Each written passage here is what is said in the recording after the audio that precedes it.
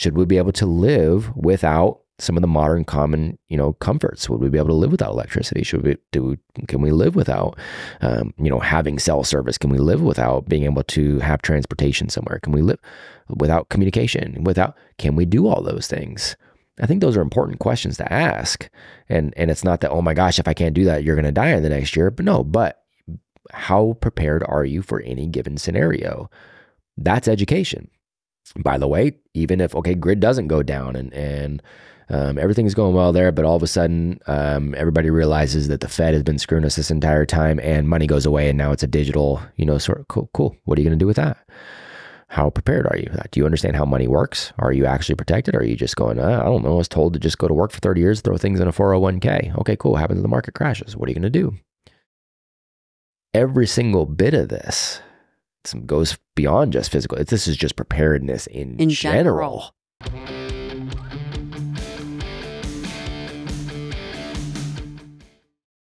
Thank you to Paleo Valley for sponsoring this episode of the show. Paleo Valley beef sticks are some of my most favorite go to high protein snacks. They are 100% grass fed and grass finished. They are sourced from small domestic farms. They use organic spices. They come in different flavors, whether it's original or teriyaki or summer sausage or even garlic summer sausage. They are fermented, which is probably one of my favorite points about this product, which creates this naturally occurring probiotic. And of course, they taste amazing. Paleo Valley is offering my listeners 15% off. You can use the code Dr. Lyon or go to paleovalley.com slash Dr. Lyon. These Paleo Valley beef sticks are amazing for on the go. People and patients ask me all the time, how can they plan for travel and just being out and about? This is a great way to do it. Grab yours, 15% off, paleovalley.com slash Dr. Lyon.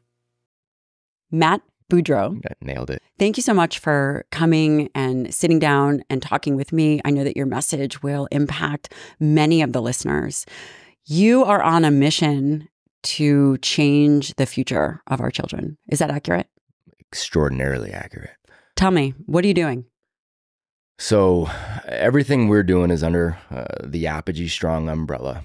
And we talk about our mission as getting back to sovereignty and freedom by educating the entire family. That's the biggest blanket statement I can give you. And we'll talk about all the different, you know, verticals of how we're doing that. But that's really what it is for us. You know, Tim and I put this together with the idea that sovereignty and freedom, these are not things, these are things that people talk about, but we don't understand how to pursue it. And you understand how to pursue it through being educated around what that means. And so everything we're doing is education. And the primary individuals that you are educating because there's a difference between schooling and education. Bingo. But you have this apogee is essentially um, it's a it's a how would you describe it? Yeah. It's not a school. It's well, a, we got physical campuses coming though. So we've got we've got all these different verticals that are designed to be able to stand alone, and they all culminate and, and come together through our, our physical campuses too. So we've got mentorship for young men. Why would that be important? So why would mentorship for young men? Holy moly. So schooling, what you said, schooling and education, right? Vastly different things. Schooling is is the biggest religion in this in this country. We've been taught that school looks a certain way. You go at a certain age, you do a certain thing at a certain time, and hey, by the way, young men or young women, that's what everybody does right? And it looks exactly the same. And if you don't play that game well, ah, something's wrong with you. How does right? that? And, and by the way, yes, BS. and schooling, would you say that that indoctr- indoctrinates the way our youth think? It's a hundred percent indoctrination. That's what. So, by the way, that's what it's designed to do. But it's not even just indoctrination around the agendas that we're seeing play out, right? And you got a lot of people that are, are being very, you know, vocal, rightfully so, about the agendas that we're seeing playing out in our schools. But for me, it's a sneaky indoctrination of the design of the whole thing in the first place, right? Now, you and I both know people that did really, really well in school. They did really well and they're struggling in life. We both know people who didn't do well in school and are crushing it in life. Well, those are two very different games. School and life are not the same, obviously, But we've got this belief, this emotional attachment to the belief that school is designed the way it is based on some sort of human development and based on the fact that you've got to get the development to look exactly like this for life to work out. That's provably garbage right? So the indoctrination that I'm most worried about are the habits that you build for 12 years, the habits that you build of blind obedience, the habits that you build of well, who's the authority, the habits that you build of going, hey, government, tell me what to do because the government's telling me what to do and when to do it from the time I'm five years old and on, right? So we've got that habit that's built. You're, you get into the habit of going, hey, um, I'd love to write my own story, but I'm going to go ahead and hand the pen over to somebody else they're going to write the story for me and they're just going to tell me what to do. You do that for 12 years. It's really hard to be able to think for yourself, to educate yourself, to move forward in your life without going, hey, somebody tell me what to do and when to do it. Hmm. That's the indoctrination I'm most worried about. And going back to one of those original questions, young men in particular are not suited for that. So, what are we doing in our schools? We go, okay, well, he's five, um, you know, and yeah, he wants to be outside and he wants to be running around. He wants to be playing. He wants to be, you know, a five year old young man. He wants to be physically active. But what we need him to do is sit here for six hours. We need him to sit down. We need him to be quiet. We need him to to to listen to somebody who's would bore the hell out of basically anybody, right? And look, and there are there's brilliant teachers out there. I have nothing against good humans who are teaching, but the system says follow this script. And so somebody can come in, step in and, and follow this script and go, no, no, no, sit, obey, do right. We're, we're taking him out of his natural environment. And when he has trouble doing that, we go, ah, he must have a methamphetamine deficiency. Right. So I think that's what it is. We better get him on some meds. We better get him on some meds quick.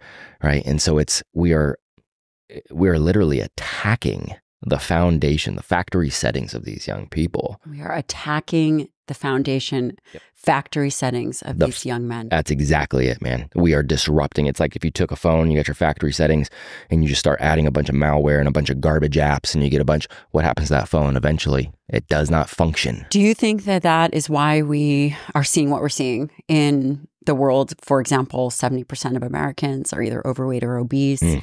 The uh, way in which we function, just the honor and integrity, mm. and just the things that we're seeing.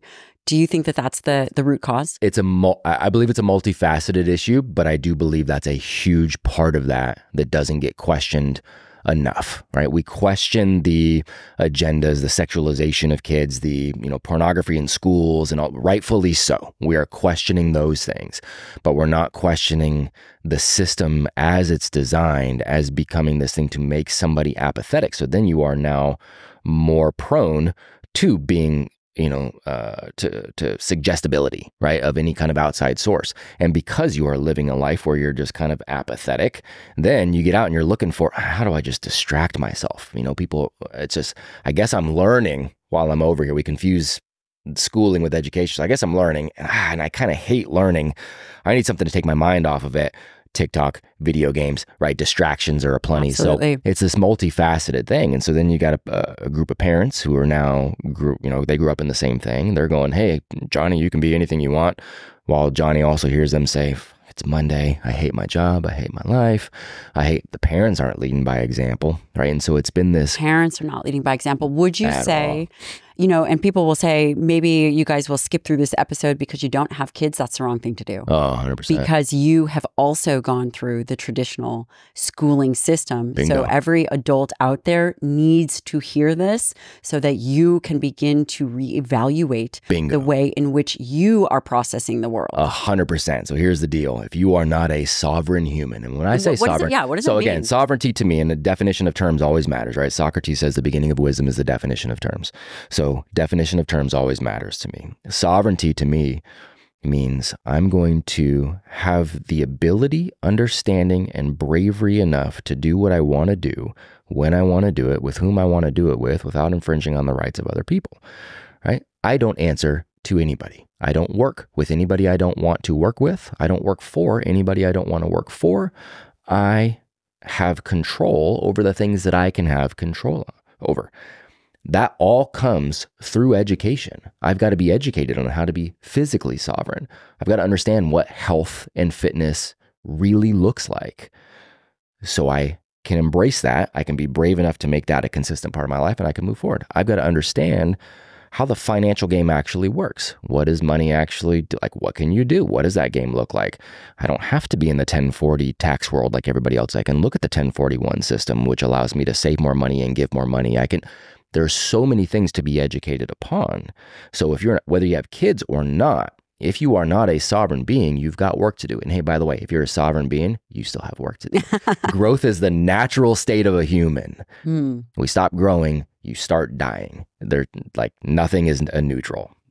My question to you is why you? Why now? And I, before you answer that, I want to just mention a bit of your bio. Mm-hmm. You've had, you have an extensive bio.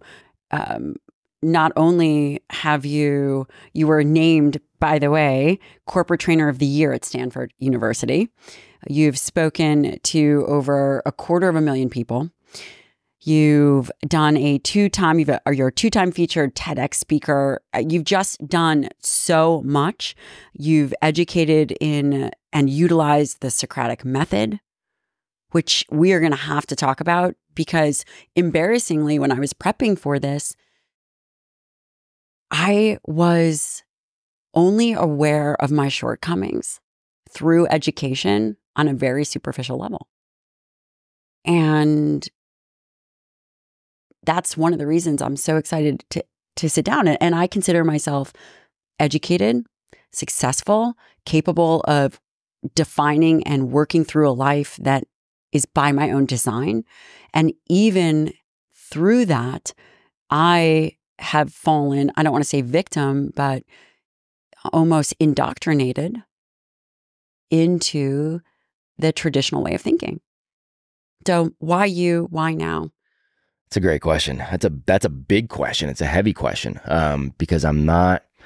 Uh, I I'm very comfortable in in saying that I know the game inside and out. And when I say the game, I mean the game of school and how that differs from education. And my um, my my background there, you know, Naval talks about uh, specific knowledge, right? So my experiences, the things that I know, the things that I can bring to the table. So my experience in in you know at Stanford in public schools as a public school teacher and public school administrator, in private schools as a teacher and administrator, starting my own campuses, speaking to all these organizations. When you're talking about the number of people I'm speaking to, I'm speaking to you know, U.S. Air Force and Lockheed Martin and Purina and National Security Center and American Eagle and um, you know, Amazon and Google, and these are all my clients. And so I'm speaking to these organizations, and I'm hearing what they wish they saw from young people, what they're not seeing. So I've got a that's unique, That's interesting. That's that's interesting. Very much so. They want something different. Hundred percent, they do. The people that are moving the needle in the world are wanting and needing something different. You bet. But but these kids have been put into a pipeline with the expectation. The and the organizations a lot of times are still asking for this. So like that's part of the frustration, right? Is they're going, hey, we want something different, but what are they doing? They're still recruiting the same way. They're still asking for resumes. They're still, but you start talking to these guys outside of it, and they're like, we don't really care about the rest. We don't even care about the college degree anymore. We don't really care. I mean, that's the normal thing. Like, we want somebody who holds our same set of values, who comes in and provides, you know, value right away, who has an idea of how this whole operation works, who hasn't like, we don't care if they're asking questions. We want them to ask questions. We want them to be okay with making mistakes. We want, they're saying these things, but they're setting up a system that makes people believe, okay, it's still the whole traditional route of you got to go to college, you know, get good grades and you got to go to college. That's a whole game in and of itself. So there's so many of these conflicts. So as far as why me, I, I don't think it's a me. I think it's an us. It's an us, right? So I can speak from that perspective. But I can also speak from the perspective of being a parent and and watching young people thrive working with thousands of young people over two decades, seeing who's thriving, who's not, finding these patterns, and then getting to work with so many, you know, we now are talking about all the amazing individuals we have in common, right? All the friends, mutual friends that we have. These are high level human beings. So watching them, figuring out how they operate and going, okay, what are the patterns of success, right? Having that at our fingertips. And Tim and I can go, okay, here's what we're seeing here's what we can offer. We're giving you a roadmap for you to eventually get to being uh, at a point of educating yourself. Uh, and we've got a lot of people who are seeing this too. So I think the the us really comes down to we have the ability to see all these things, bring these people in, but also get to the masses and get this going quickly. This can't be something that's done in the next, you know, 20 years. This is something that needs to be done now. Desperate. Desperately. Desperate. I love, and you referenced Tim. This is, Yeah. we're talking about Tim Kennedy. Yep. Love Tim Kennedy. Yep. Great guy. What is the program that you've developed? So we start. So I love. To, I would nobody else. I'd rather do this mission with, man. Um, if you don't know who Tim Kennedy is, you're missing out. He's exactly who you think he is too. I mean, he is that wild. He's that crazy. But if you listen to him, he's that brilliant. He's that. He's one of the most intelligent humans I know. know. He is one of the most intelligent humans I know, and his heart is as big as frickin' Texas. You know, I've spent time at his house. He's he's a phenomenal husband. He's a phenomenal father. So nobody else I'd want to, um, you know, be on this mission with. So we started Apogee Strong. I had I had um, started a couple of schools, three schools in California, and had the largest Socratic uh, base K through 12 in in the nation. So started that, and I'd started that for my for my kids, and invited other people to come along, and and we had been wildly successful and and uh, a whole lot of fun. So did that. Tim, I heard Tim on a podcast saying he wanted to start a school. I'm like, hey, I know how to do that. Um, let's connect. So helped him start getting going at, at Apogee Cedar Park. Um, but we went, hey man, we've got so many mutual friends. We have so many guys in our corner. I have good men at my finger that I can call. I can pick up a phone and go, hey man, and they're going to answer the phone. They're good men doing good things in the world. Tim obviously is connected to a lot of good men doing a lot of really good things in the world. We talked about the problem earlier for young men. They're not being given these great role models. They're not being, um, you know, feet held to the fire and going, look, man, here's what it means to grow up to be a good man. So that's where everything started knowing that multiple dominoes would fall. So we started with the Young Men's Mentorship Program, virtual mentorship program. We started that three years ago. Um, so the Young Men's Mentorship Program grew very quickly. We've got hundreds of young men all over the world, and we kind of focus on that 12 to 18 year old range. And they've got a very specific 12 month roadmap that they go through. And we're not saying that this is the 12 month, we're just saying it's a really good 12 month roadmap of actual educational experience. There's sales, there's marketing challenges, there's public speaking challenges. They learn to get in contact with and interview, you know, LEO and military and CEOs, and they start putting together this digital portfolio of their journey into leadership. It is not school in the least. I love it. Journey into leadership. Exactly. And they're documenting the entire thing. So they got this roadmap they're going through. They've got recommended readings, they've got workouts that we're sending them. They're in a private platform where we're pouring into them every single day. And then every week we are bringing on the best of the best of the best to speak with them. And when I say best of the best, I mean, you, I mean, you name it. We're talking about Bedros. We're talking about Ray. We're talking about Andy Frisella. We're talking about, you know, Patrick Bet David. We're talking, I mean, we have had all these guys come in and speak with these, not speak to, speak with. The young men are on the calls with them, hearing from the best on how to be the best, right? So we started out there. And by the way, if a young man pours in for those 12 months, if he actually shows up and does the work, we'll work with them forever, no charge. They stay with us. We've had young men who have now been with us for three years. Like we will continue to pour into these young men forever. So we started there. Inevitably, and we knew these would be the dominoes, we had dads going, any chance you want to do this? Like, I wasn't ever, I was schooled. I wasn't educated.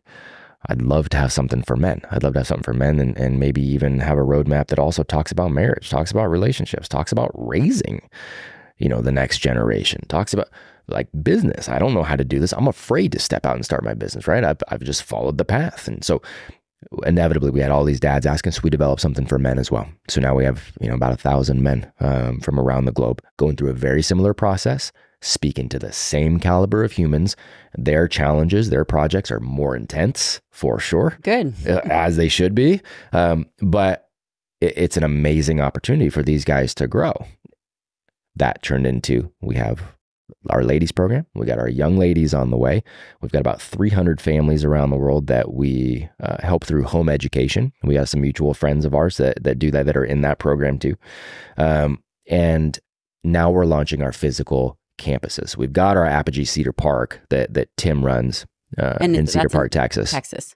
Yep. And then we we went, hey, um, we need to bring this physical location because we have some people that are like, ah, I'm just not going to get out of the physical space. I need a physical space for my young heroes. So we went with an affiliate model, um, much like CrossFit, right? We have people apply to be able to to to run one of these and we give them the the keys to the castle. Like here's how to do it. Here's how to do it well. We have a massive support system. We're building out the entire year for them but they have the intellectual freedom to say hey okay i, I kind of want to tweak it. You know i want to do this. So we've got about 50 physical campuses k through 12s young men young women that are launching in the fall. And we think we're going to have probably another 100 that we'll do next year. Incredible. um, we're asking for just good humans who believe in this mission of character and values and real education to to to chat with us and see if you want to bring it to your community. Oh, and by the way, mom and dad, when your kid goes to one of those campuses, you automatically get to go through Apogee Man and Apogee Woman so that we make sure we are educating the entire family. I'd like to take a moment and thank one of our sponsors, Ned. Ned makes an incredible magnesium product called Mellow Magnesium. And I first heard about Mellow because I was having trouble getting to sleep, staying asleep. And Mellow Magnesium has helped me do that. Many Americans are actually deficient in magnesium. And this is a mineral that is essential to hundreds of functions in the body. Ned's Mellow Magnesium was designed to address the fundamental deficiencies that come from our modern lives. Mellow Magnesium is a daily super blend. It has three forms of chelated magnesium, has GABA, L-theanine, amino acids, and over 70 trace minerals. For me, it's helped improve my sleep, reduce stress, improve my mood, help with my gut, and potentially even strengthen my immunity. This is a full transparency product. Ned shares all of its third party lab reports, which I think is amazing. Go to helloned.com. That's H E L L O N E D.com slash Dr. Lyon for 15% off all Ned products it's critically important. You know, I care about this because I, I care about our world. And I have a three year old boy and a five year old girl.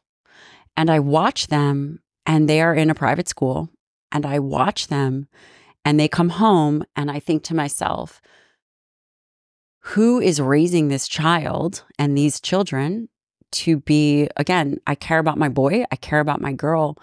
And I want to know how, number one, I can instill habits. So you had mentioned that there are that there are faults in the habits Yeah. that these children are indoctrinated in. Yes, ma'am. And if I were to think what and I, my children are very physically active.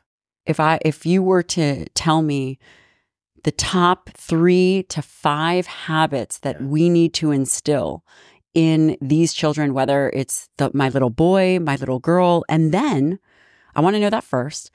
And then I want to know the top 3 to 5 habits that we need to watch out for that we need to potentially undo or challenge Gosh, I love that. Um, so leading by example, you guys leading by example is, by the way, it doesn't matter if they go to school, if they don't go to school, you are the primary educator in their life, period. End of story. Always have been, always will be, right? Your kids will do what you do before they do what you say. So it is wildly important that you, your husband, right? Any parents show up and they are the people that they say they are. No hypocrisy, open, honest, moving yourselves forward. So as far as habits for these young people. Ultimately, what we want to get them to is self direction, right? You don't want them being 40 and having to live with you, right? I mean, you love I mean, them. right now, I think Right now, really it sounds cute. great, a hundred percent. And by the way, it always sounds great if you do it right and you have a great relationship, of course. But the reality is, you want them to be sovereign individuals too, right? Ultimately, you want them to have the knowledge and the capability to go pour into the world, to go serve other, be, you know, human beings, to go build a life of their own design. And the byproduct of doing that, being active in living with a purpose, the byproduct ends up being joy, right? It's not chasing joy. We don't chase happiness. You chase a purpose, happiness becomes a byproduct. You chase a purpose, and happiness becomes a byproduct. That's the way it actually works, right? So, the biggest thing you can do is we want to remain as close as possible to those factory settings. So, when we work with these young people, what we're trying to do is we're trying to keep factory settings where where they are, where they came, they like they come out with this factory setting. We're trying to keep that, and when we work with the with the adults, we're trying to usually get them back to factories. A lot of times it's addition by subtraction. It's Mhm. getting rid of the garbage, right? And so we want to get them back to that.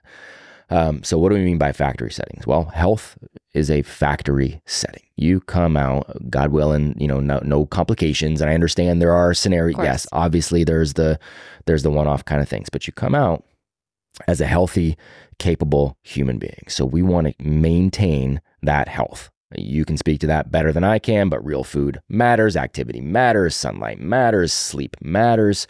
So building the habit of understanding your physiology and how much that plays into your ability to grow as a human matters. It's one of what we call the meta skills, right? So understanding that matters. By the way, we talk about mental health for our young people obsessively. Well, physical health is the precursor to mental health. Certainly. There is no avoiding that. Certainly. If you say, I want my kid to be mentally healthy, but you're feeding them Mickey D's, they don't have a, a normal sleep time, you're letting them stay inside all day and not get sun, they're not active, they're sitting on, you don't care about their mental health, period. Hmm. Right. So that's one of those things. Maintaining curiosity is one of those habits, right? That's why we That's utilize this. Okay. Very much so. So, what do kids do? Your three and five year old prime examples right now. Why? How? Can I? How does that? Why? Why is that? Cool. That's awesome. That gets trained out of us in school because school says, give me the right answer. There's one right answer. Give me the right answer. All I care about is answers. Regurgitate an answer. Why does it? Because I said so. Why does it? Because it's on the test. Why does it? School trains you to stop being curious. Curiosity is the natural state of a human. We are wired to want to grow. We understand inherently that growth means life. We have to. The minute we stop growing, the minute we stop learning, we start dying. Whether your body gets buried or not, you've started to die. So, maintaining that curiosity, um, the habit of taking on responsibility. When is it too early to start that? Never. What would be an example for my Well, three so and five? three and five year olds, they're they're gonna come into you know they're gonna come into the kitchen sometime. They're gonna be like, "Hey, mommy, can I help you cook?" What do we do as parents? A, a lot of times, and I'm guilty. Just when I say this, please understand: there is no such thing as a perfect parent. I am far from a perfect parent. No such thing as a perfect. kid. There is no such thing as perfection, but the pursuit of perfection should always be the goal, right? So, um, but they come in and they're like, "Hey, can I help you cook?" What do we want to do? No, yes, go ahead. That's what we should be doing. No, no, go ahead. That's what we should be doing is going, yeah, cool, sounds good, let's go. What do parents normally? Ah, that's going to take too long. Oh, it's going to get messy. Oh, they're going to break. Ah, gonna, uh," right? And so we squash, we start slowly squashing curiosity, right? We should be going, yeah, awesome, that sounds good. But as they get older, what are the jobs around here they can pick? Is it cleaning up their room? Is it vacuuming? Is it, there is no and you think that that's so important? they should be it's doing. wildly important and they want to help they want to Okay. contribute they find value in that right they get self they self-esteem self-confidence is something that always has to be earned and it's earned by doing things that matter that's the way we're designed it's not earned by somebody telling you you're the best no, right? It's not earned by you're you're awesome. You're you're fantastic and all these affirmations, that's great, but in their mind, their subconscious, they need something to attach it to. So attaching it to a process of look, you are helping others, you are being a good human, you are providing value, you're doing the right thing. Like that's where self-esteem, self-confidence comes from. So we got to give them that responsibility early and often. I love that. So far, I have self-directed activity, and that means, in my mind, that for, for example, my little children, that they should be able to play and do activities where I am not having to show them every little thing to do. That they should be able to entertain themselves and have some kind of self-directed uh, capacity. The other thing that I heard you say was get back to factory settings, meaning, and that actually sounds like that comes from the parent, getting them outside early, making sure that they're physically active, uh, providing healthy food, etc. The other thing would be the third thing that you had mentioned was maintaining curiosity.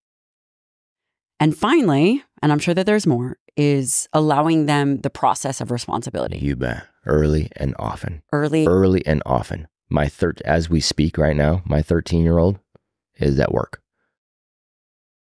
She works uh, like she'll work 20 hours this week. What are some of the, and you've been in education for 20, what, 20 plus years? Mhm, about two, yeah, about two decades. Um, congratulations. Yeah, thank you. There, there were two things. so You had mentioned this Socratic method, Mhm.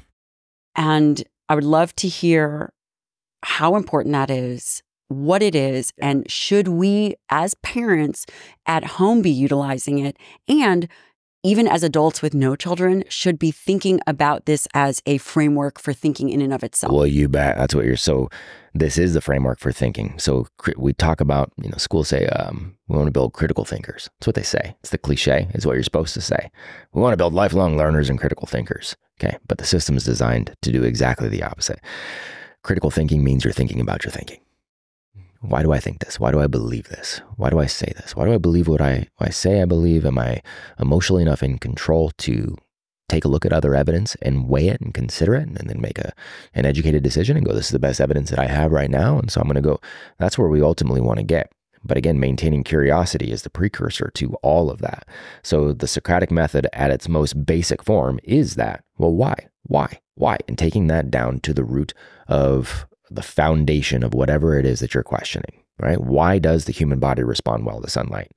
Why? What would happen if the sun doesn't come out? What would happen if I lived in Seattle and I never saw the sun? How does that impact my body? Like anytime we're questioning and just going down, that's essentially a precursor to, to, to the Socratic method. More intentionally, what I like to do with my kids and what we do on our campuses is we'll do a more tactical uh, kind of a Socratic approach where we'll utilize uh, books, stories, uh, movies, uh, the lives of people we know, and go, okay, well, now you're them. Now you're this person. You're the protagonist in this scenario. You've got option A, you've got option B. What are you going to pick and why? And start getting the reps in on, okay, I would make this decision in this kind of scenario because my values determine that I go this way and the ripple effect would be, right? So there's an element of who am I and what happens if I make this decision? And you've got to weigh both of those. When you start getting really good, what you do is you start having scenarios where it's like option A, option B, both equally great, but they're very different. And you have to defend one, even though your answer is right here, or both equally suck. and you've got to pick one because the answer is really in the middle, but you got to pick one and you got to defend it. Why? It makes you think about your thinking. And so, really, all of it, the root of all of it is just allowing for questions and going, okay, what if, what if, without having to even force a predetermined answer.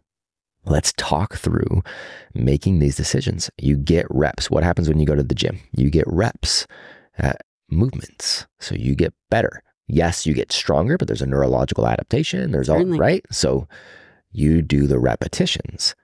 All we're doing is doing the repetitions on thinking and making decisions. Those are things that life always demands.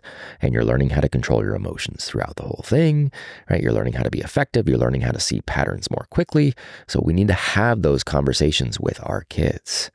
So it, it- it's the way, that's the way we're designed. Fascinating. And it's it's not it's never too early oh, to, to start. So even, you know, we read stories to the kids and we read these ninja books, and these ninja books talk about hard work.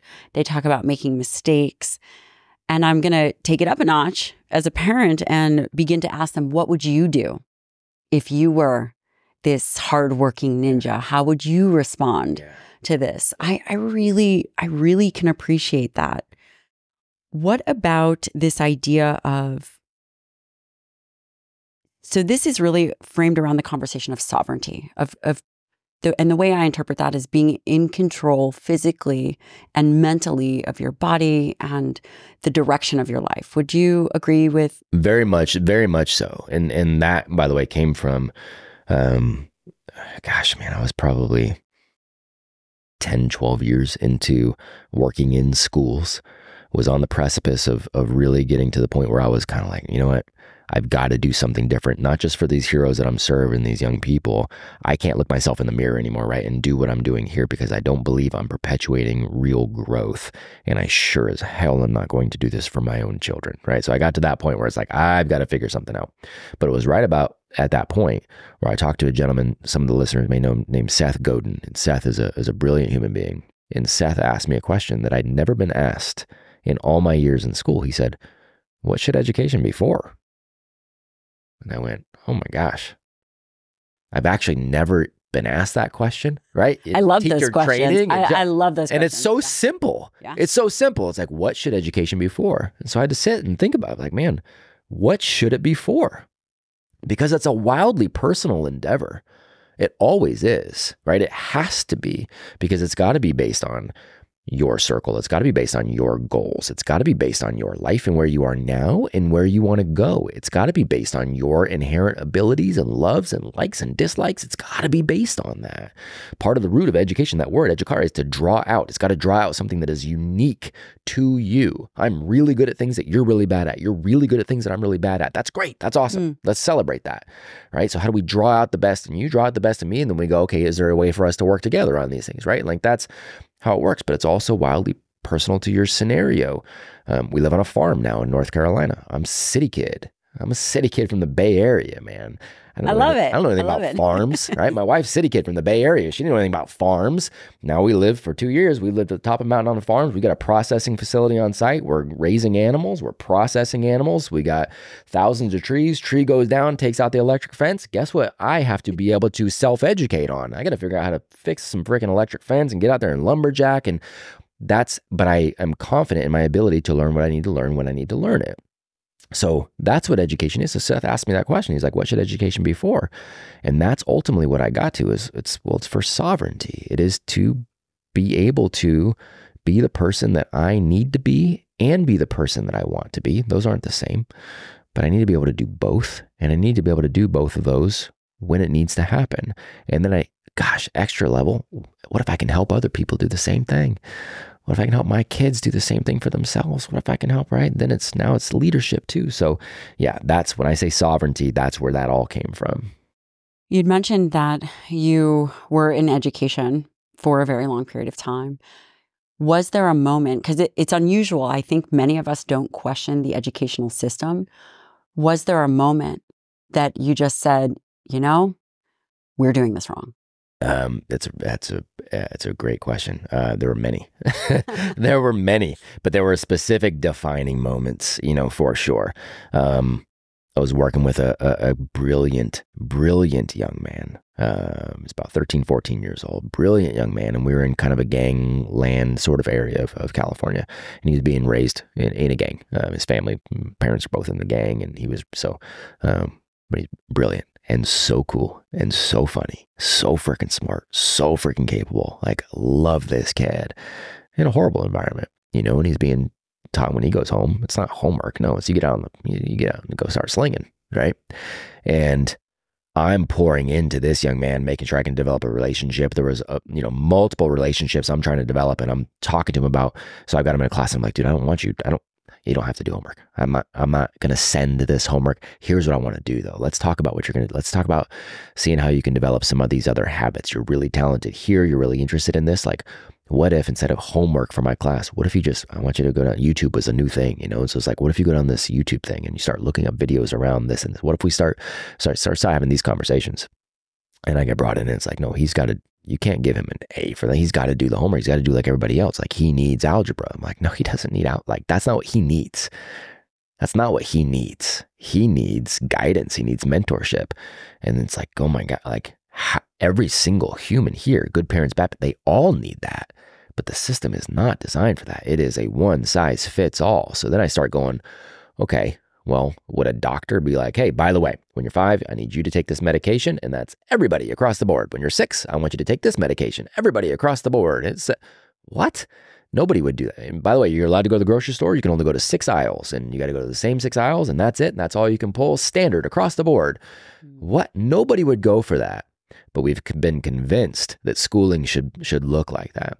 Right? So it was really dealing with him where I started going, okay, how did this system come to be in the first place? And I started diving into the work of guys like Ivan Illich and John Taylor Gatto, and I started looking at the history of schooling and why we brought schooling over here from Prussia and what it was designed to do. It wasn't designed to build thriving humans. What was it designed to It do? was designed to get obedience. It was designed by the Prussian military to get obedient soldiers. That that's where school came from. That's where the schooling model as we know it was essentially designed for that was brought over here by the industrialists who then went okay well this we can take advantage of this we want a nation of, of workers for our factories so rockefeller poured in what was the equivalent of about 1.3 billion dollars at the time he said i want a nation of workers not a nation of thinkers they said what are you going to teach the kids then he says i'm going to teach them much about nothing basically i'm going to waste their time for all of these years i'm going to keep them out of uh, you know out of work uh, I'm going to pull them out. People think it was like a child labor law thing, like it was an issue, like, oh my God, all these factories and the kids were.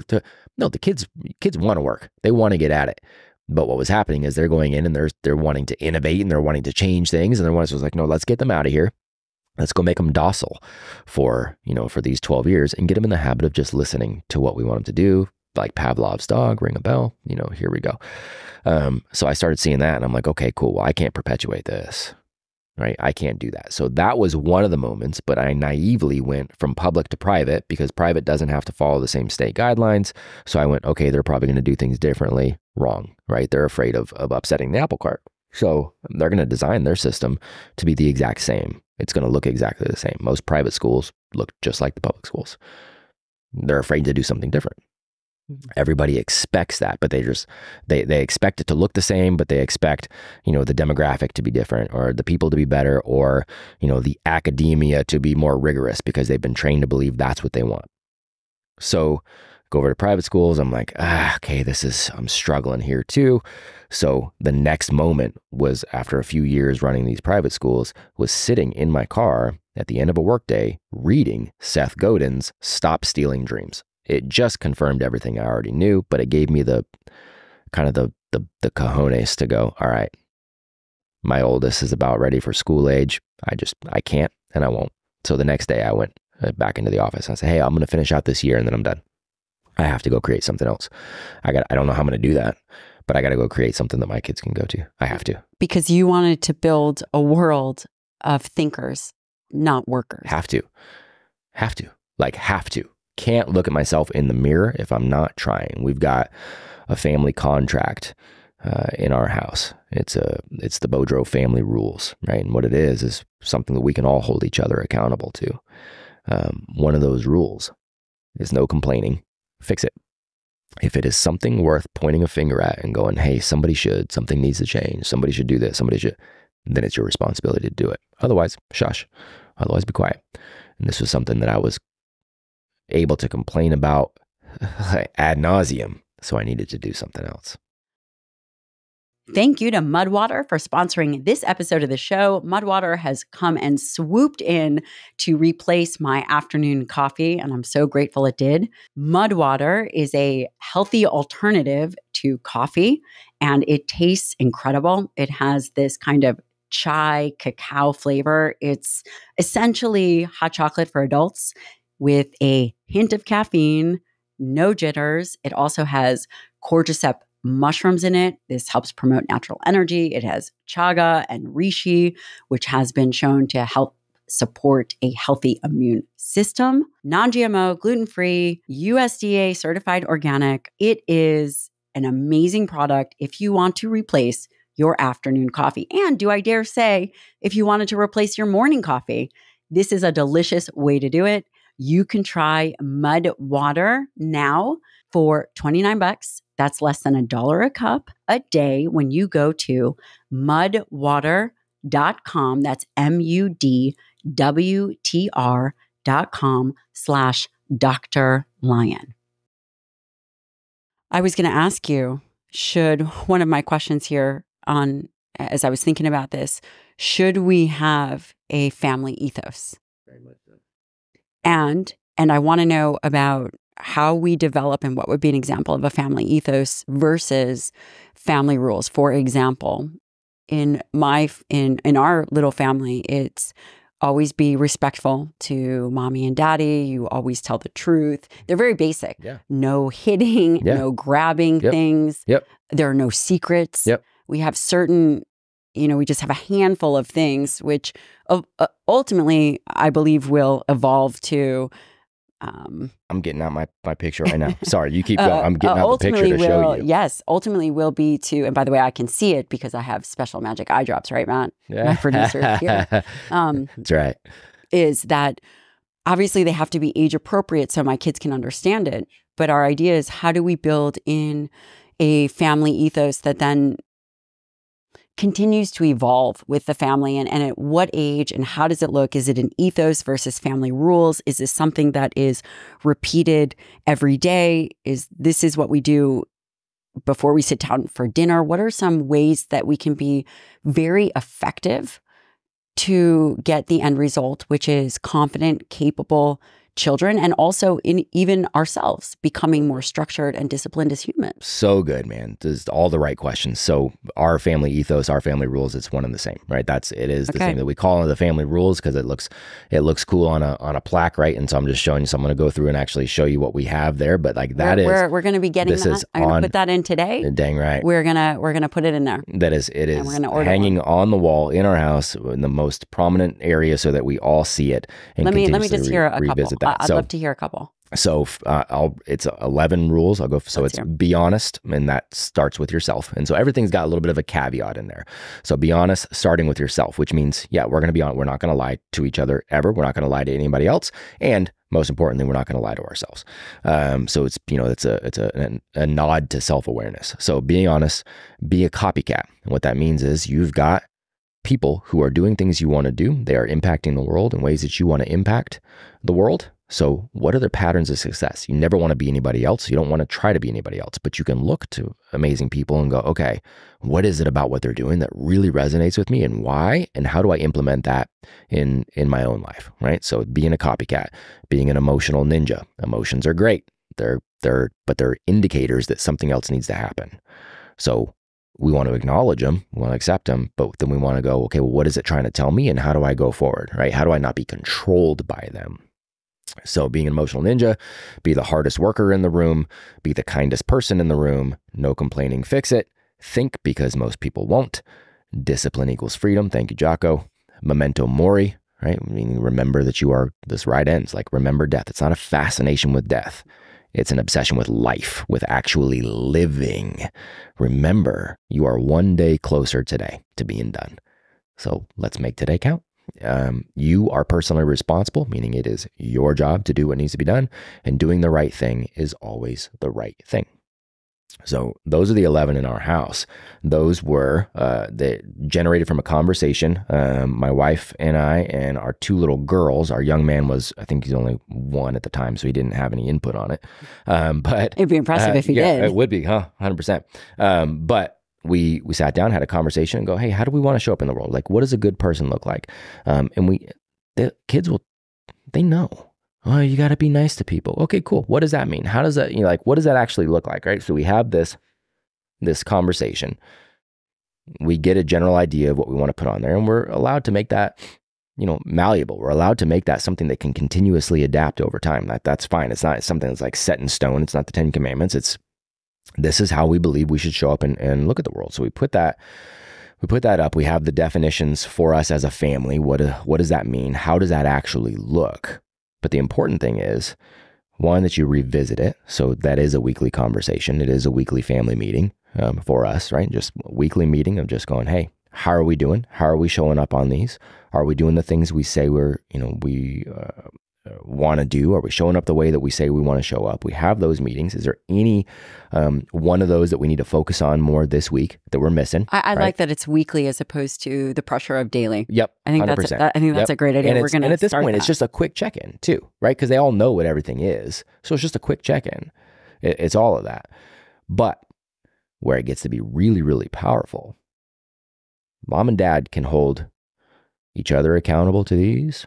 Mom and dad can hold the kids accountable. Kids can hold each other accountable. Where it's really powerful is when the kids hold the parents accountable. When my son goes, Dad, you kind of sound like you're complaining on something right now. Do you have a solution? And he says it respectfully. And then I go, Hmm, you're right. Okay, let me see. Do I want to put a solution to this or do I want to just be quiet?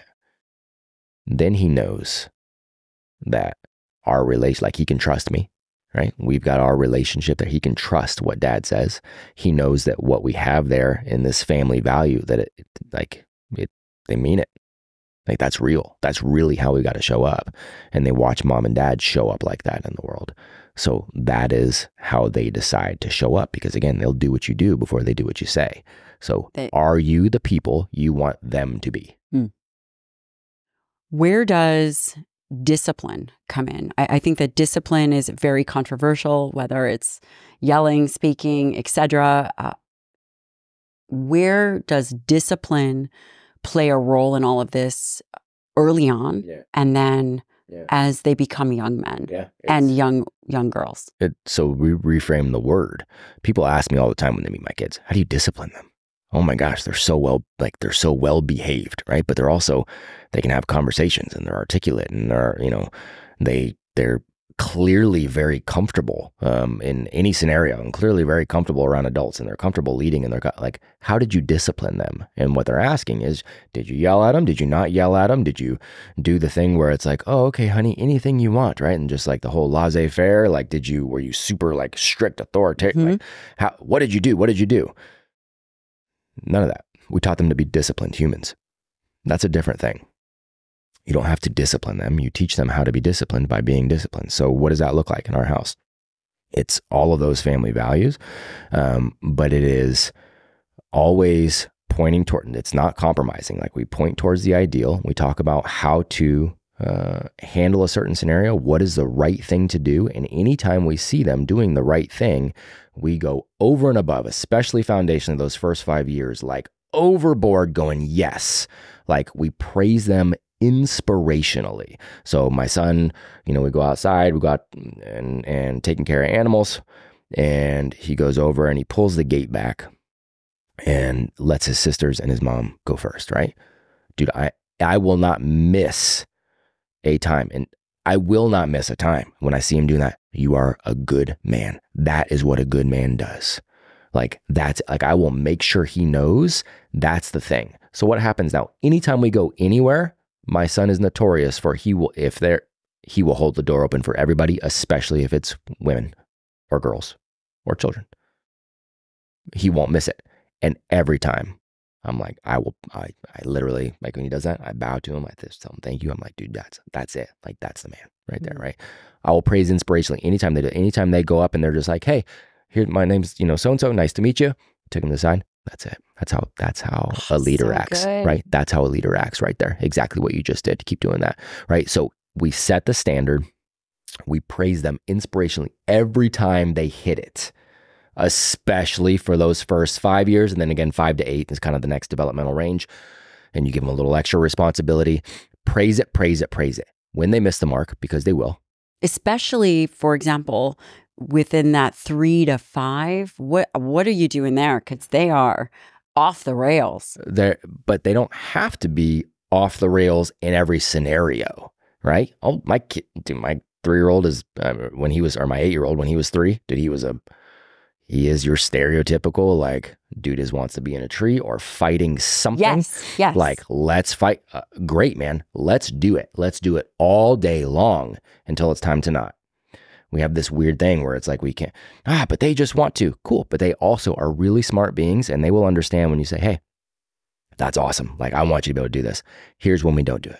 When we go into a restaurant, this is how we behave. Watch this. Let's make a game out of this. Like, watch daddy. Love to this. copy i'm learning right? so much. You just you're so intentional and they will just gravitate towards it. I love one of the things jordan peterson talks about. He says your job up until they're five years old is to make them somebody worth being around because if you make it to where nobody wants to be around them you're actually setting them up for failure. Nobody wants them to be around anymore. That sucks. They're going to treat them differently. They're not going to invite them to things. They're not going to have as many opportunities to grow as a human so manners still matter right? I want my young man to be a wi- and he's out at American Top Team now, training you know a couple days a week. He's doing Ninja Warrior, like he's out. My Incredible. my wife sending me a picture this morning, and he's way up in this freaking tree in the pasture. Like he's doing all the things that a young man should be able to have the opportunity to do.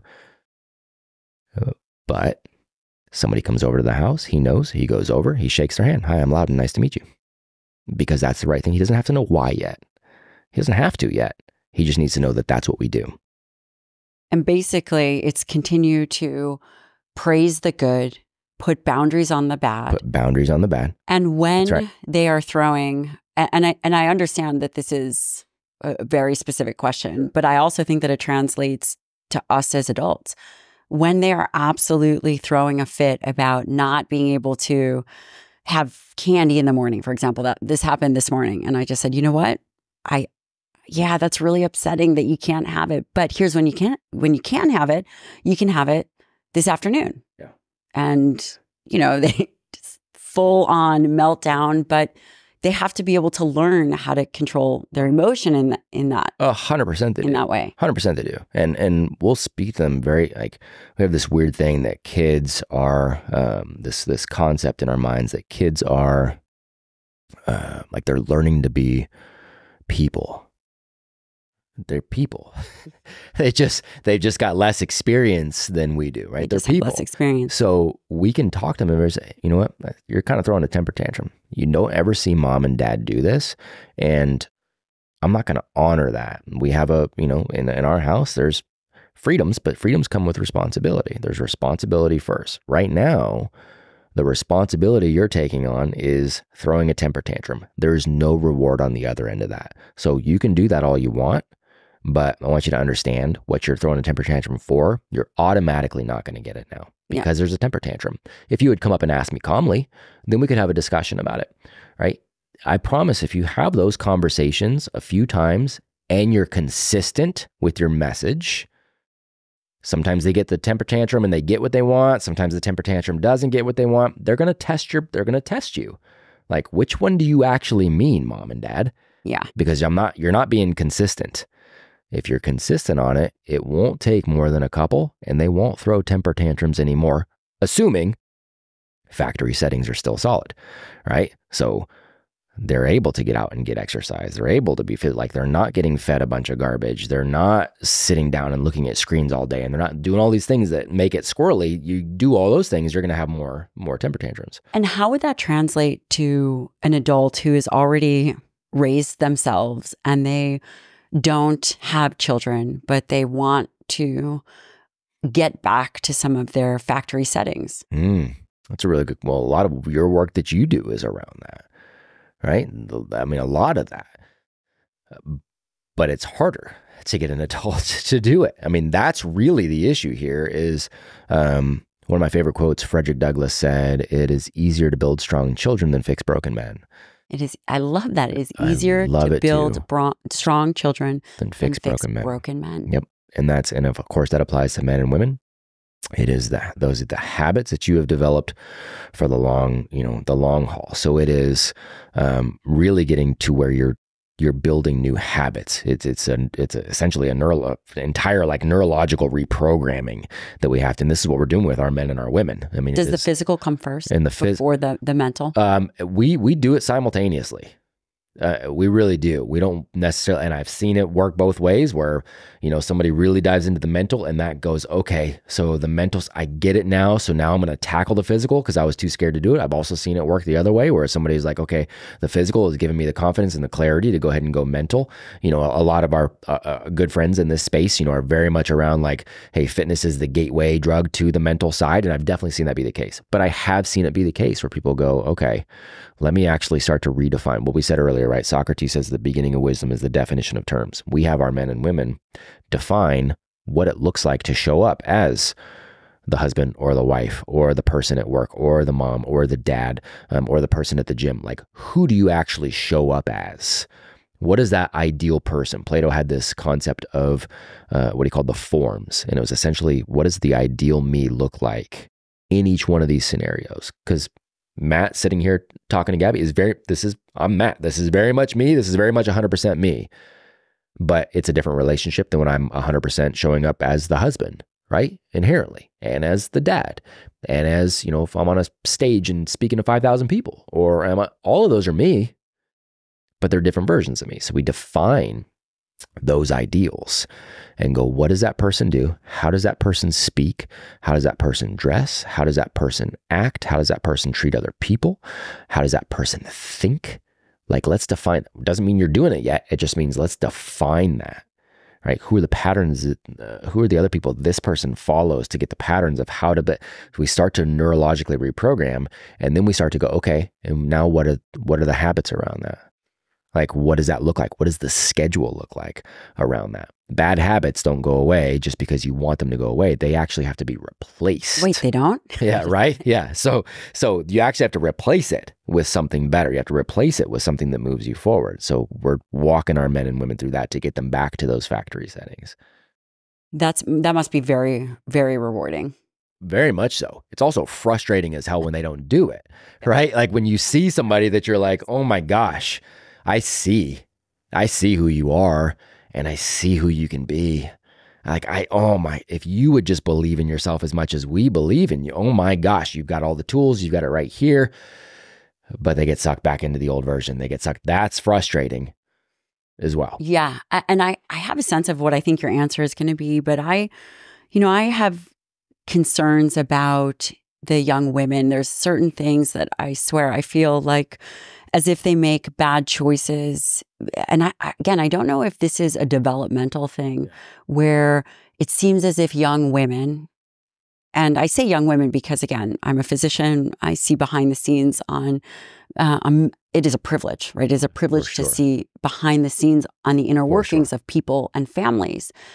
And it seems as if young women struggle with this self worth. And when they struggle with this self worth, it leads them vulnerable to exploitation, physical, sexual exploitation, and especially now with Twitter, Instagram, the the social media, a lot more predators and also bad young relationships or even physical assault. I mean there's is there number 1 is this an age type of thing that maybe when young women hit their teenage years or to through their 20s that they it's a natural thing to question worth or is this something that we can address yeah. and if there is a, a young woman or even adult listening can they go back and and address that? Yeah, that's a really good question. It's, a, it's an important question. Um, it, it's an, it's a yes and as far as the answer. Is it normal to start to question? It, is. It's normal to be able to, and that's not even just a young woman thing, but it, it very much um, very much a dominant uh, mental state as they get into kind of the 12 13 year old range because there's an extra level of brain jump that we talk about like the uh, brain's not fully developed till you're 25 right? Like we talk about that all the time and yes true very much so but there's a huge brain jump that happens at 8 another one that happens at 12 another one that happens at around 16 right? And so that's kind of a blanket statement but it's roughly right around that, that time. So um, young ladies you get throttled at 12 or 13 because your brain jumps, you can start to now see patterns more clearly. You can start to think more uh, in an abstract fashion. You can start to answer the kind of the what ifs, like it starts to actually make more sense. You start questioning the world around you. You start questioning where you fit in that place, right? You start having all those questions. So the brain jump happens. And then, oh, hey, by the way, here's a rush of hormones too. And now you're going through puberty and now your body's changing and you're like, what the hell is going right? So you just turn into this hot, hot mess uh, of a human.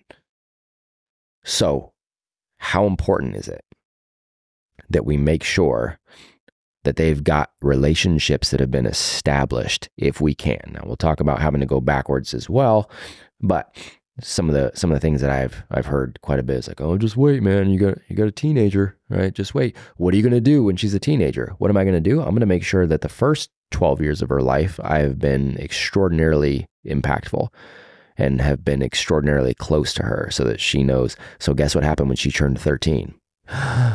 Nothing. Right? It was. I was like waiting on the edge of my seat. Nothing, what happened? Dude, nothing different. nothing because we have a great relationship because it's always open because you know when she started her when she just started just started her cycle and it was like oh hey by the way yeah this started um, and we're like all right cool man what do you need you know whatever and she's like yeah you know i'm good i understand you know that and it was like all right cool it was like she was saying i'm gonna go make a sandwich like it was like because we have that relationship established already.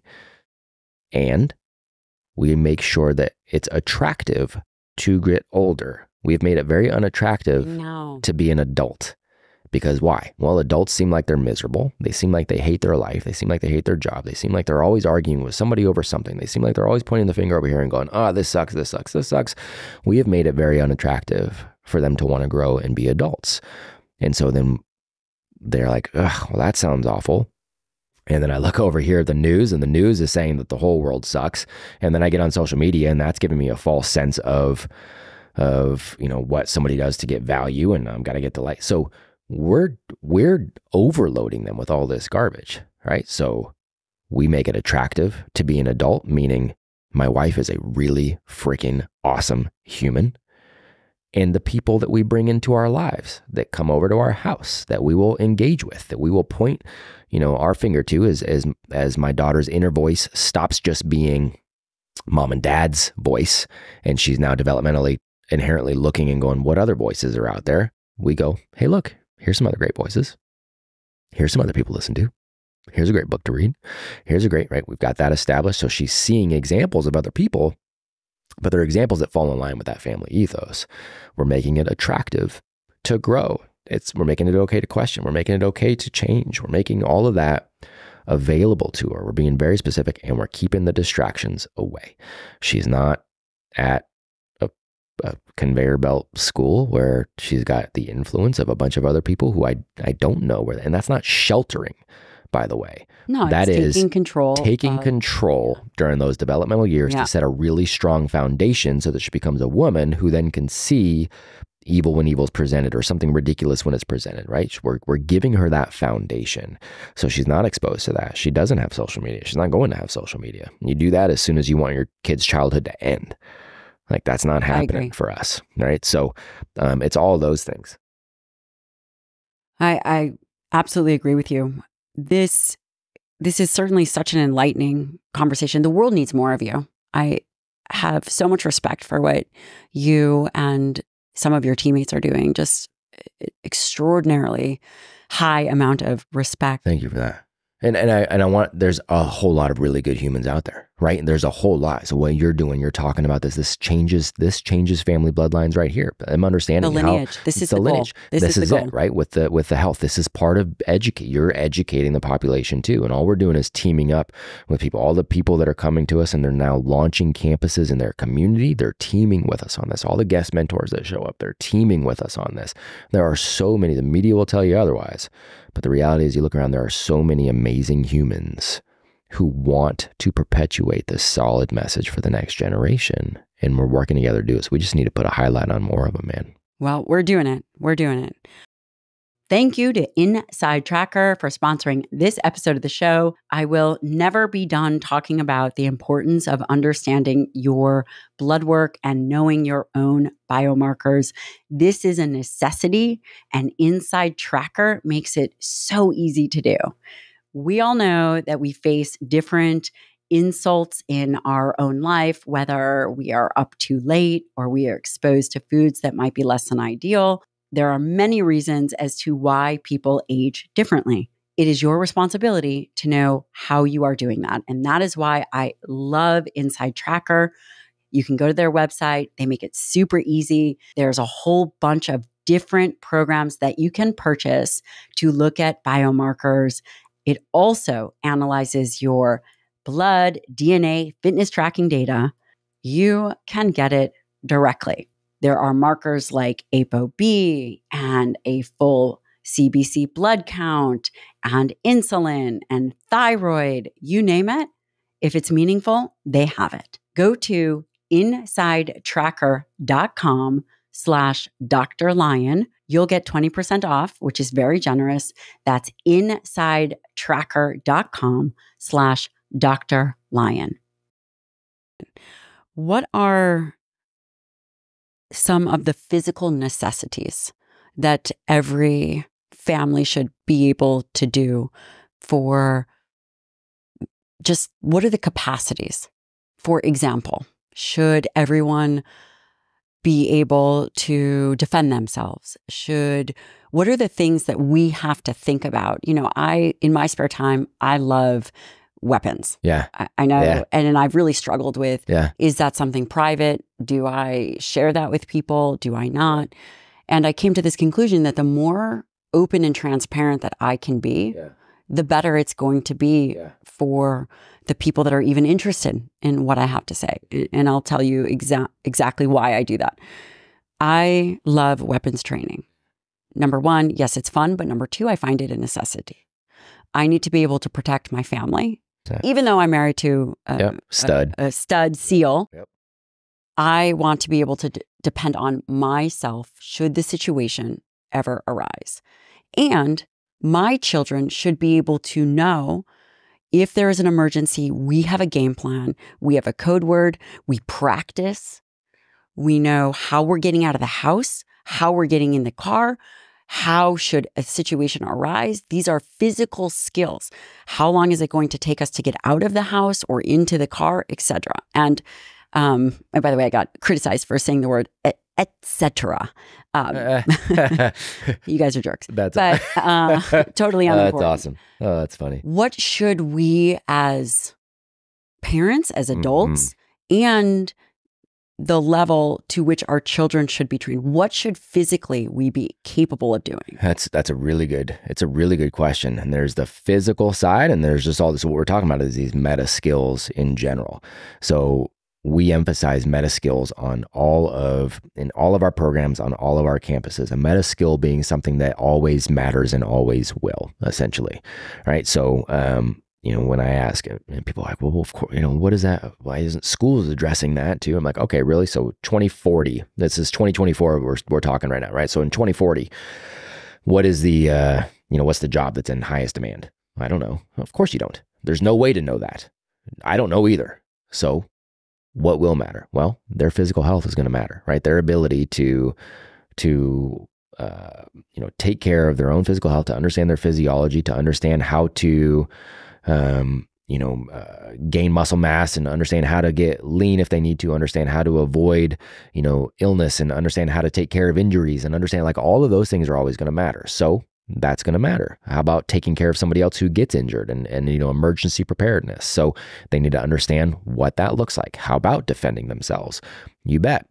Take it a step forward. If we're really talking sovereignty, does everybody just go to the grocery store to get food? What happens if grocery store shuts down? What happens if 2020 happens all over again and stores shut down and now you've got to figure out how to grow some food for yourself? Do you know how to do that? What if a grid shuts down and now you no longer have, um, you know, I think Tim said something the other day where it's like an estimated, um, you know, if power was to be eradicated from the United States within one year, 90% of the population would be dead. Okay. So, not in a fear based mentality, but what if that happens? Are you good? Can you survive? Can you grow your own food? Everybody, no, "Oh, we'll I just, can definitely dude, we'll not just- grow my own food. we'll food. just get out I can't keep my woods, plants man. alive to Yes, so, so like that. So so let's you know let's talk about like should we be able to do that? Should we be able to grow and harvest our own food?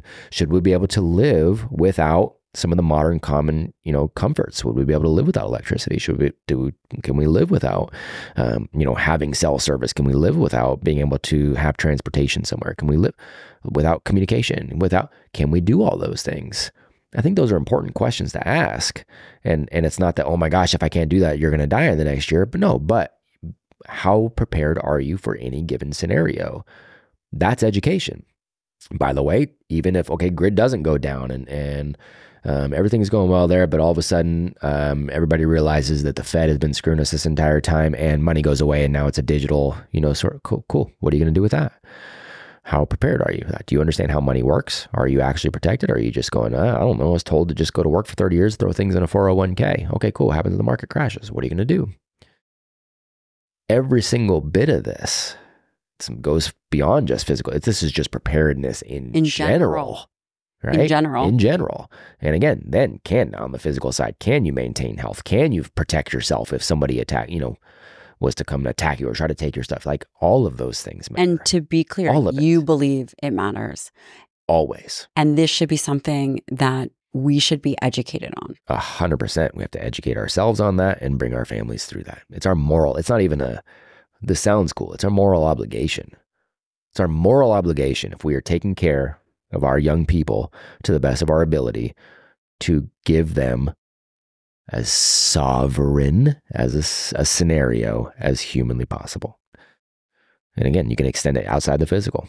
You should be able to understand how to generate income. Like, what does it mean to build my? You're you're just relying on somebody else, right? How many people got stuck in a bad situation when they're like, ah, gosh, I really don't want to take the jab, ah, but I'm being forced to. Ah, if I don't do it, I'm going to lose my job. You're not sovereign because somebody can take it away from you. with your help, uh, people or are going to be able to be capable in our next generation is going to be better. And I want to circle back to the the program the apogee. I want to talk about what that word means and very specifically the kinds of children entering the program is this available to everybody do they share characteristics or demographics are there trends again so cool i know that that, that was No, a lot it. of questions I love but it. Great questions. Um, so apogee means the the highest point or the culmination of something. So we we take it um, like you're you know climbing a mountain. You're getting to the top of that, and you're getting to the apogee of that mountain. And it's not to mean that you've arrived, because once you get there, then what's you know your viewpoint is now there's a bunch of other mountains to climb, right? And so, but the apogee is getting to the highest point of something. Like I said, perfection is not possible, and we always say this in our organization: perfection is not possible, but it remains the standard right? We can always work towards it. Not possible, but it remains the standard. There's always growth. So you can always continue to move closer and closer and closer to the apogee of any of these meta skills that we're talking about. So within the the program, we tend to have people um, who and this is people over like the young men are are usually being signed up obviously by their parents um, you know the men the women we tend to have people who lean towards an understanding of personal responsibility matters. They're leaning into this idea of, I don't want the government to have to take care of me on everything. I don't want to live 30 years in a cubicle. I don't want to have that pen that maybe I gave away or maybe I didn't even know I gave away. I don't want somebody else writing my story for the rest of my life. They tend to have that general belief, and that tends to, you know, people want to make everything political, and it tends to be on a more of a quote unquote conservative side, I guess. But we have people from all backgrounds. We have conservatives, we have people who are, you know, we have people on the right, we have people on the left, we have people who are very much down the center. When it comes to politics, we have people who um, come from faith-based homes. We have people who come from non-faith-based homes. We have people like we ha- we see the full game. We have, you know, special operators. We have Olympic athletes. We have guys who are working three jobs in trades just to make the ends meet. We've got literally you know everything in between. But that's what it comes down to is we have a shared code a shared set of values. It's really that like bushido code of honor and loyalty and commitment and politeness and um, you know living towards a purpose. And like that is what we all agree on. And then everything else is a general roadmap to see where are we sovereign where are we not where do we still have room to grow where do we not? Like that's the whole thing. Now accessibility is something that we're really really um, focused on. So the programs themselves, from the virtual standpoint, are stupidly, wildly uh, affordable on purpose. Um, we've had a number of people be like, "Hey, that's dumb. Like you should actually make that more expensive for like what you're doing. You're actually going to kill." So we get that. Um, but again, we're we're playing this longer tail game, and we're wanting to go wide, especially with all these campuses. And we're going to have live events in every state to kick off all of these campuses launching. And we want to get, you know, 500 campuses just here in the US alone. Um, but we want to make it accessible. The downside to any sort of privatized educational endeavor that somebody's got to pay for it, right. right? That's the downside. So that inherently limits some people who don't come from a background of being able to pay for that. We want to eradicate that. So we are working on building out uh, essentially an endowment that can make this accessible to anybody as long as they agree to that code of conduct, as long as they agree to be a good human being, as long as we can agree around that basic standard of like, we're, we're going to tell the truth. We're going to, you know, work hard. We're going to treat each other well. We're going to go try to serve other human beings. We're going to be honorable. Um, we're going to be committed. Commitment is a word that just gets thrown around right now right? No, committed. I'm going to do the things I say I'm going to do. I'm going to say what I mean. I'm going to mean what I say.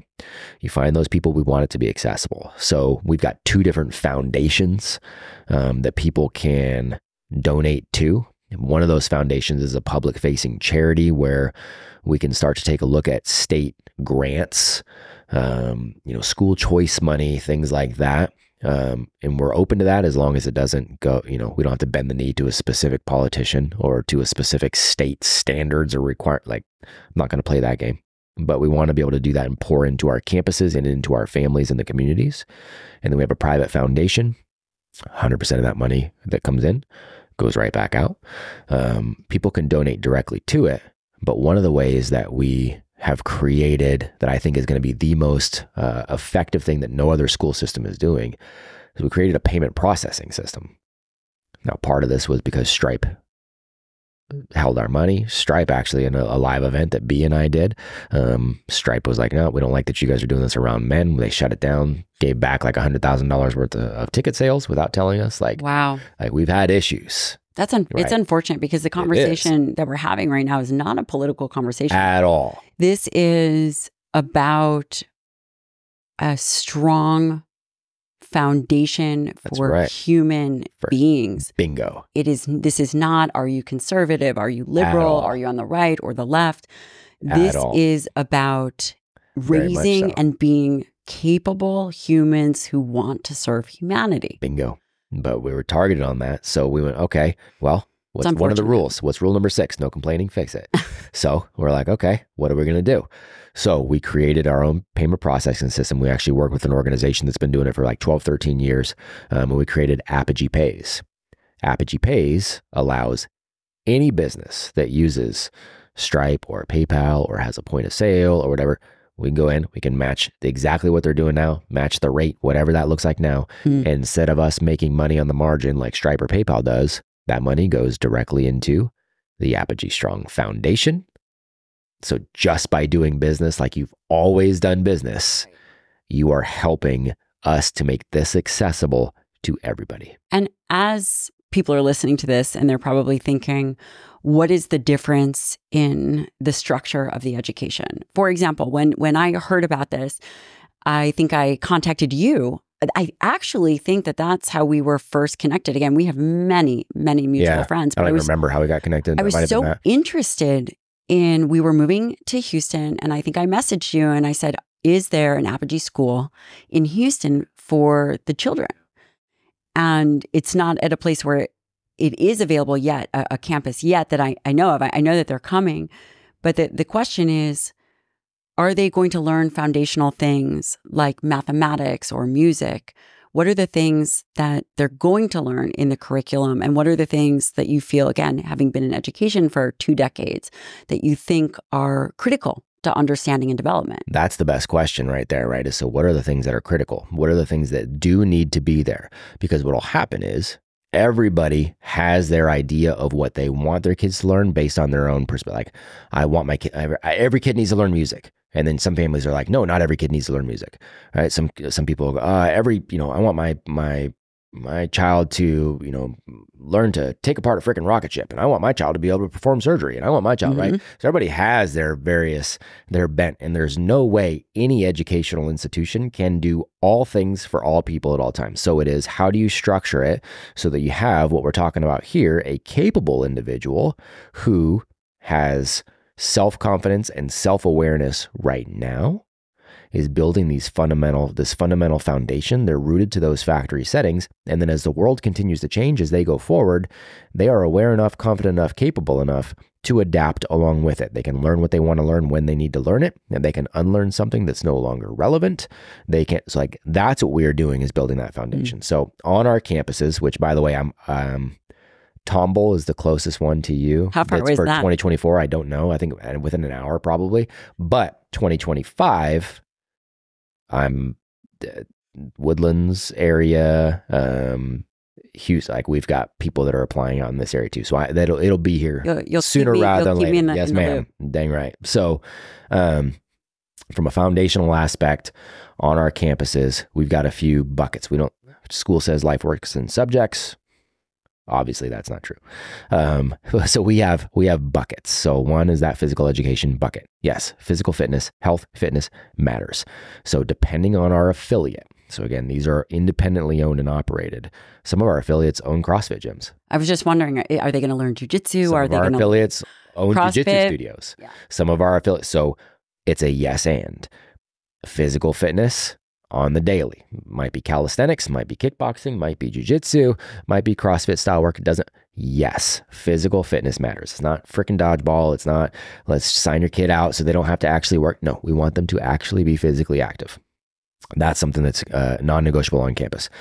Another non negotiable is what we were talking about earlier, like the Socratic method. So, having Socratic conversations. So, having daily Socratic conversations, speech, debate, logic, rhetoric, those things matter. Understanding how to think logically, actually giving them the building blocks of what thinking looks like. Which is super cool. And also, many adults don't know how to do that. They absolutely don't know how to do that, right? Nor can they engage in civil discourse, which is a part of that too, right? At the end, at the end of the day, you and I will agree on much at some point we could find something we disagree on. And it's the way in which you handle the disagreement. How do you handle that disagreement, right? I'm okay with the fact that Gabby is going to disagree with me on something. I would love to hear your evidence. I'd love to share mine.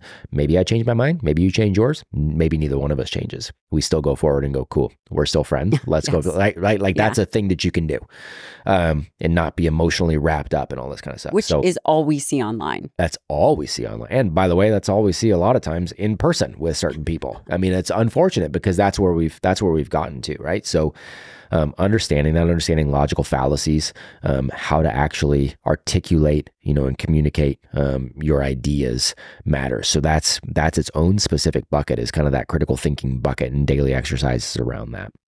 The academics are a part of that. Academics are great, but academics are put on a pedestal as if all people need all these things at the exact same. It's again provably ridiculous, but the academics matter. We're just not going to have somebody sit there and lecture everybody. We're not going to pretend that everybody needs algebra at 12. At, so you have academic options.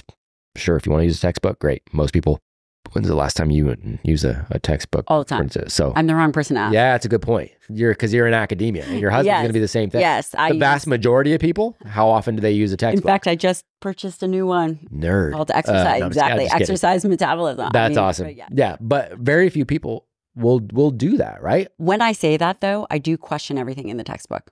I get the textbook. You've been taught to do that, which is great. That's what you should be doing. Mm, but I, I use a textbook. The textbook is not gospel because I need to understand it, the holes in the thing. I'm not, I'm not blinded. That's it. you should be able to do that with every source for everything, right? So, but if people want to use textbooks, cool. We can use textbooks. There's also, you know, when you're talking about the basic academia that kids go through in schools, right? Sal Khan's done a great job on Khan Academy and it's freaking free.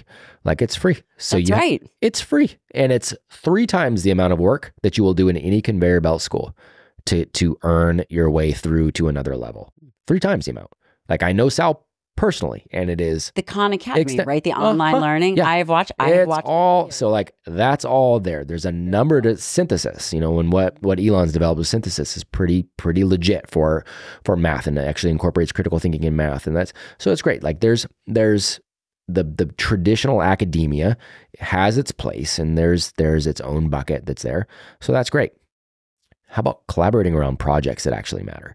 So, taking on a real world project. So, this year we've got seven sessions in our school years. Each session's four to six weeks, and there's always a themed project. This is where we're exposing them to all kinds of things in a real world fashion, and we're allowing them to collaborate to create something, not just consume. School's all about consuming. Education means you learn through creating, right? You actually have an experience of doing something. So they're going to create a Renaissance fair based on this entire concept of what does it mean to live by a code?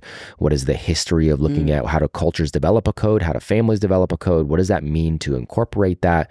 Um, so they're going through an entire uh, project based experience, and then they're putting on a Renaissance fair for their community to talk about the history of building out a code and what is the code they want for their campus. Then they're going into like a CEO of my own life where they're talking about time and energy management. They're figuring out how to mm. structure mm. schedules and goals, and that's also when we're going to put in a um, we're going to put in a campus economy during that session as well so that there's hey you do a job you get paid for the job you do a harder job maybe you get more money for the job you want to try to fit like actually we're learning how money works, right? So we have an internal economy that they're going to take on. Um, the next one is health as wealth, diving into human physiology. And, and understanding breath work and understanding, um, you know, what nutrition actually means, what it looks like. How do you actually cook real healthy food? And we want to eventually get our chefs on campus to be kids. One of my campuses the head chef on campus who's making real food every single day. He went down and worked with Weston A. Price, came in. He's responsible every day for cooking all of the meals on campus, real food every day. He goes to the store, figures out how to source it, runs the school lunch program, hires middle school students as his sous chef, right? So they're learning how real skills and they're putting out real food every single day. So for our kids, health, nutrition matters. Um, going into a session on like uh, sh- building shelters and building fires and how to actually grow your own food, going into a Shark Tank uh, session where you're building out a mock business, you're having to learn what a P&L is, you're having to source real materials, and you're having to go give a pitch to local investors. Um, then we have a real business fair. They're actually all starting businesses. Not that everybody should be an entrepreneur, but the entrepreneurial skill set always matters. It does. So they're starting a real business, taking projects and services to the public. Like these are real things that matter. So they have projects around real world scenarios and then massive responsibilities from cleaning campus to taking care of things to internships and apprenticeships in fields they think they want to work in. Again, as much exposure as humanly possible to all the things that are going to allow them to know who they are and have an idea of where they're going. I don't know about you, I had no clue. Even with my straight A's, I knew I was good at meeting girls and I was good at playing sports. That's what I was good at. So then I'm like, guess I'll go to college. Got better at girls, got better at sports, still got my straight A's. And then went, cool. Now what? I don't know. I don't know how to play school. I don't know who I am. I don't know what I have to offer the world. Somebody help me. I was told I get this college degree and, and jobs are just going to be, you know, coming after me, man. It's not the way it works. No, it's not. Thank you to 1st Phorm for sponsoring this episode of the show. As we talk about families and children, I wanted to highlight their M Factor Kiddos Mixed Berry Multivitamin. They are delicious. I may or may not have tried them myself. Uh, okay, I did.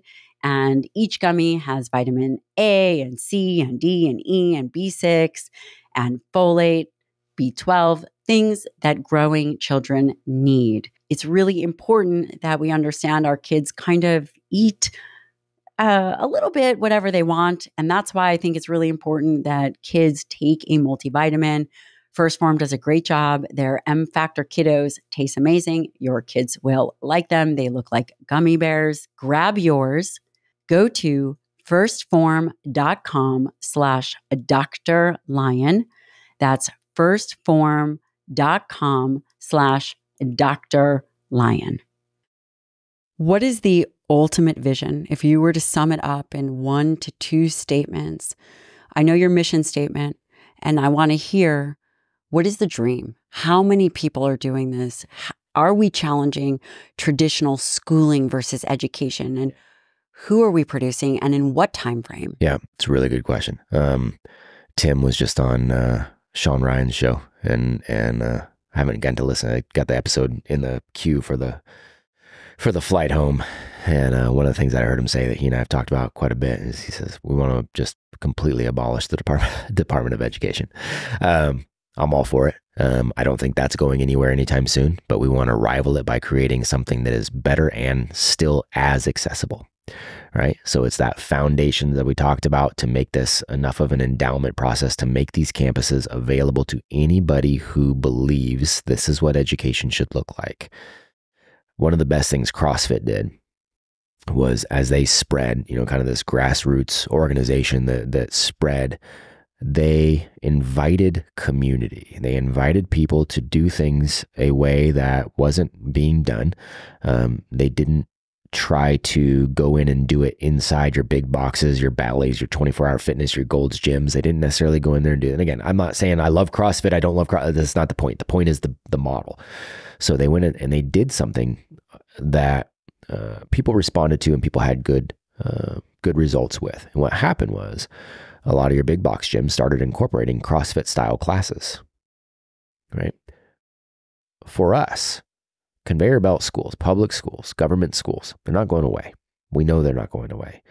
But what if we just make the alternative so well known, so attractive, so uh, just ridden with stories of transformation that it can't be denied?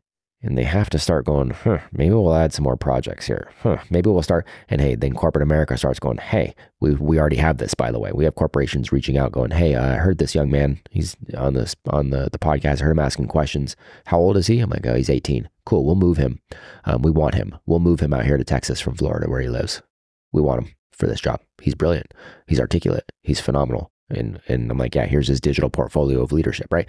So extraordinary. So it's extraordinary. We want hundreds of campuses that are educating the entire family. We want mom and dad to learn to be more sovereign. We want mom and dad to learn to be able to start their own foundations, to go be able to give in, in ways that they want to give, to get out of the 1040 system, get into a 1041 system. They have more control over their life, more sovereignty, more freedom. We want the young people to grow up knowing who they are, and we want all of them impacting the communities in ways that they want to impact the communities. So we want you know, really in the next five years, I'm hopeful for for 500 campuses. I'm hopeful for an endowment that makes all of those things accessible to every single person. I don't need to make a damn dollar on it, and I know Tim feels the same way. I don't care. Um, I want Apogee to go down as a as a household name here in the next five years of going. Well, this is it's you got school or you have an Apogee campus, and pick one. Well done, well done, Matt Beaudreau. Got it. Yeah, nailed it. Thank you so much. Yeah. Thank you for coming on, for sharing your mission, your wisdom. You are a, truly a purpose driven individual. Thank you. It is inspiring and it is necessary. It's more necessary at this moment than any other time. Where can people find you? We will, of course, link everything. This will go out in the newsletters. This will, we will make you available and the Apogee school online community available to everyone. But thank you so much. I appreciate that very much, and it's, it's definitely an honor. And thank you for being on the same team. And um, you know, anytime we get a platform to just speak about what we're doing is is a blessing. So, um, Apogee Strong. A-P-O-G-E-E strong.com is the place to go. Um, that'll link you to, we got a little documentary that's on there. You got all of our programs again designed to stand alone um, or come together. You'll be able to get a map um, to where all the campuses are located. Um, there'll be a section to start filling out where you say hey i'd like to maybe bring one to my community. Um, so we'll start having conversations. So apogeestrong.com is the way to go um, if you want to you know look at how your business if you're an entrepreneur and you want to look at how your business can help perpetuate the mission um, apogeepays.com uh, is the way to go on that apogeestrongfoundation.org if you want to donate directly all those places are great great. But uh, it's an honor for anybody to even check it out. Um, and even if they just hear this and have nothing to do with that, but it makes them be more intentional with how they lead in the household and the young people, then it's a win, man. Thank you so much, sir. Yeah, thank you.